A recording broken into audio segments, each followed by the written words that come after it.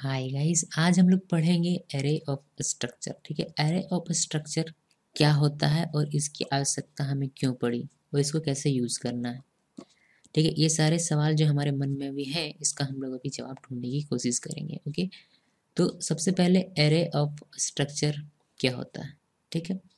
Suppose कि आप एक क्लासरूम में मतलब क्लासरूम का आपको एक प्रोग्राम बनाना है, जिसमें कि आपको सभी बच्चों के नाम और उनके रोल नंबर उनसे पूछने हैं, उनका रिकॉर्ड रखना है और उनको आउटपुट स्क्रीन पर दिखाना है ओके एक क्लास में मैंने आपको कहा कि आप एक क्लास में जाइए। उस क्लास में आप हर एक बच्चों का नाम और रोल नंबर इनपुट के रूप में लीजिए और इसको प्रिंट कीजिए। ये मैंने आपसे कहा, ठीक है? आप सोच रहे हैं कि कैसे ये प्रोग्राम बनेगा? आप सबसे पहले ध्यान इस बात का देंगे कि क्लास में स्टूडेंट है और हमें क्या लेना है? इनपुट नाम लेना है और रोल नंबर लेना है। यानी कि नेम और रोल नंबर लेना है। ठीक है? क्लास, एक क्लास में हो सकता है कि पचास स्टूडेंट हो, साठ स्टूडेंट हो सकता है, सौ स्टूडेंट हो, डेढ़ सौ स्टूडेंट हो, लेकिन सभी का सिर्फ़ हमें नाम और रोल नंबर ही लेना है। इससे ज़्यादा हमें कुछ नहीं लेना है। ओके? तो एरे ऑफ़ स्ट्रक्चर का मीनिंग ये होता है कि स्ट्रक्चर का एरे यानी कि स्ट्रक्चर का जो भी स्ट्रक्चर है स्ट्रक्चर मीन्स क्या? पहले ये हम लोग ऑलरेडी समझ चुके हैं, लेकिन फिर भी हम लोग देखते हैं। Structure means different type of data type का डिफरेंट टाइप ऑफ़ मतलब अलग अलग डाटा टाइप का एक कलेक्शन और एरे ऑफ़ स्ट्रक्चर मीन्स इस कलेक्शन का एक कलेक्शन ठीक है? ज़्यादा कॉम्प्लिकेटेड तो नहीं है मेरे ख्याल से। ठीक है, फिर से एक बार सुनिए।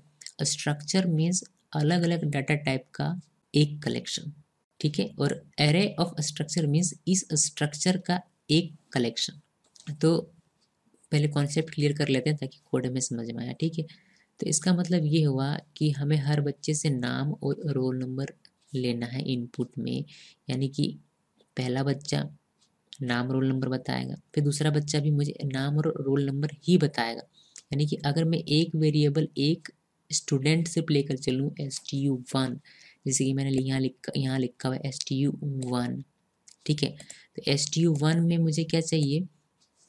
एक स्टूडेंट है एस टी यू वन जिसका नाम है, ठीक है? एस टी यू वन जिसका नाम है, वह एक पहला स्टूडेंट है मेरा, उसमें उसका मुझे चाहिए नाम और रोल नंबर फिर एस टी यू टू होगा, इसका भी मुझे चाहिए नाम और रोल नंबर फिर एस टी यू थ्री होगा, कोई स्टूडेंट इसका मुझे चाहिए नाम और रोल नंबर ठीक है? तो इसको आप इस तरह न करके आप चाहें तो इस तरह भी कर सकते हैं। S T U one S T U two यानी कि आप अलग अलग क्रिएट कर रहे हैं। एक स्टूडेंट ये पहला स्टूडेंट है आपका, ये दूसरा स्टूडेंट है, ये तीसरा स्टूडेंट है, जिसका इनपुट जो है वह सेम है। आपको नाम ही पूछना है उससे रोल नंबर ही पूछना है। हाँ भले ही नाम अलग होगा, सभी स्टूडेंट का अलग अलग नाम होगा अलग अलग रोल नंबर होगा, ठीक है। लेकिन आपको उससे पूछना उसका नाम ही है। और रोल नंबर ही है, इसे कुछ अलग नहीं। तो तीन वेरिएबल ना क्रिएट करके हम यहाँ स्ट्रक्चर का एक एरे बनाएँगे। तीन स्टूडेंट का मैं यहाँ एग्जांपल मैंने लिया हुआ है, ठीक है, सौ या फिर दो सौ का मैंने नहीं लिया सिर्फ़ थ्री स्टूडेंट का लिया हुआ तो अलग अलग स्टूडेंट का नाम ना लिख कर या फिर अलग अलग स्टूडेंट का नंबर ना लिख कर ऐसा नहीं कि पहला स्टूडेंट का, दूसरा स्टूडेंट का, तीसरा स्टूडेंट का, ऐसा ना लिख कर हम स्टूडेंट स्ट्रक्चर स्टूडेंट का एक एरे क्रिएट कर देंगे। ठीक है? यानी कि इसमें हम लोग तीन स्टूडेंट का नाम और रोल नंबर दोनों स्टोर कर सकते हैं। कैसे कर सकते हैं? वह देखेंगे अभी हम लोग थोड़ी देर में, ओके? आई होप कि कॉन्सेप्ट क्लियर है। एरे ऑफ़ स्ट्रक्चर का कि क्या होता है, ठीक है? यानी कि स्ट्रक्चर का हम लोगों ने एक एरे क्रिएट किया हुआ है।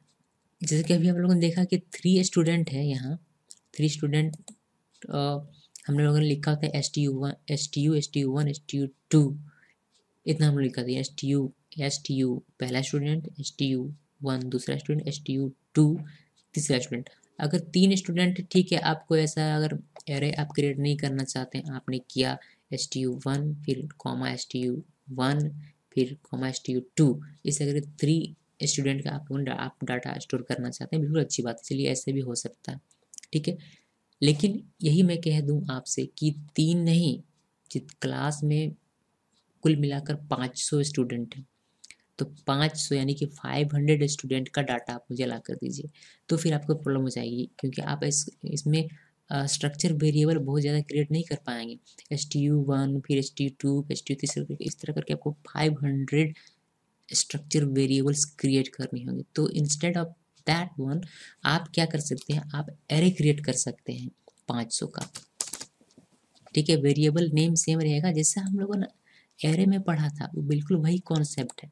ठीक है, बस इसमें स्ट्रक्चर है स्ट्रक्चर ऑफ़ एरे है। बाकी कॉन्सेप्ट बिल्कुल वही है। तो यहाँ हम पाँच सौ का नहीं लेकर चलेंगे, हम लोग थ्री का लेकर चलते हैं ओके आगे आते हैं कोड में। आई होप कि यहाँ तक सबका क्लियर हो गया होगा सिनेरियो क्या है इसके, इस प्रोग्राम का एरे ऑफ़ स्ट्रक्चर का ओके तो तीन स्टूडेंट का हम लोग नेम और रोल नंबर स्टोर करेंगे ओके इंट आई लिया है मैंने लूप चलाने के लिए। लूप स्टार्ट किया है मैंने यहाँ I zero I less than three I plus plus printf के थ्रू क्या होगा? इंटर नेम स्कैन ऐप में ध्यान दीजिएगा। Scanf percent S M percent S T U subscript मैंने लिखा हुआ है यहाँ आई वो भी एस टी यू में, यानी कि स्ट्रक्चर वेरिएबल में। क्योंकि स्ट्रक्चर वेरिएबल जो हमारा एरे टाइप का है, इसीलिए हमें स्ट्रक्चर वेरिएबल में ही सब स्क्रिप्ट लिखना है, ना कि मेंबर में।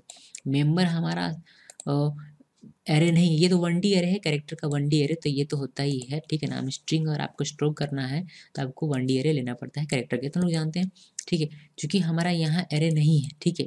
ये टू डी एरे होता तो हम लोग यहाँ आगे का इम्प्लीमेंट करते हैं। ठीक है? खैर, उसमें हम लोग अभी हम लोग नहीं जाएँगे सिंपली हम लोग इतना समझते हैं कि चूँकि हमारा ये एरे टाइप का नहीं है, इसीलिए हम लोग यहाँ नहीं लिखेंगे आई इसके बजाय एरे हमारा क्या हमारा स्ट्रक्चर एरे टाइप का इसीलिए हम लोग यहाँ सबस्क्रिप्ट लिखेंगे। आई होप कि क्लियर है। तो कोई डाउट है तो आप कमेंट कर सकते हैं okay print F next line में आते हैं हम लोग print F enter roll number फिर स्कैन ऐप में percent D M percent S T U I subscript में आई लिखा है हमने डॉट रोल नंबर ओके तो ये जो पूरा आपको दिख रहा है M percent S T U sub subscript में आई डॉट रोल नंबर तो ये इसका है, ठीक है? इसमें देखिए देखिए कि यहाँ कोई भी एरे नहीं है। अगर एरे होता तो हमें यहाँ भी आई लिखना पड़ता। इसके बारे में हम लोग थोड़ी देर बाद मे बी अगले वीडियो में एक हम लोग और प्रोग्राम बनाएँगे, इसमें हम लोग दोनों में सबस्क्रिप्ट देखेंगे कि कैसे वो काम करेगा ओके तो फ़िलहाल हम लोग इसी में रहते हैं।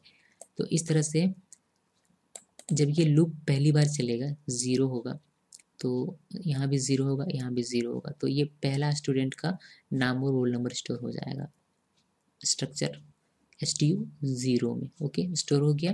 देन दूसरी बार लूप चलेगा, यहाँ एस टी यू वन होगा, यहाँ भी एस टी यू वन होगा, यानी कि एस टी यू वन में दूसरे स्टूडेंट का डाटा स्टोर हो गया, फिर एस टी यू टू में तीसरे स्टूडेंट का डाटा स्टोर हो गया ओके डाटा स्टोर हो गया हमारा यहाँ तक, यहाँ यहाँ से यहाँ तक। कोड्स में फिर हम लोग उसी को प्रिंट कर देंगे। ओके, प्रिंटिंग का जो है, वो बिल्कुल सिंपल है, पहले ही हम लोग देख चुके हैं।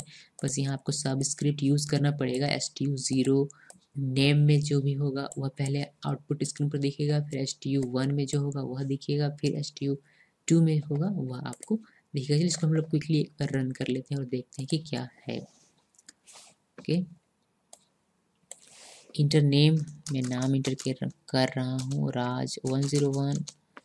Then second student का नाम इंटर करूँगा मैं, और Rani one zero two, Sam one zero three,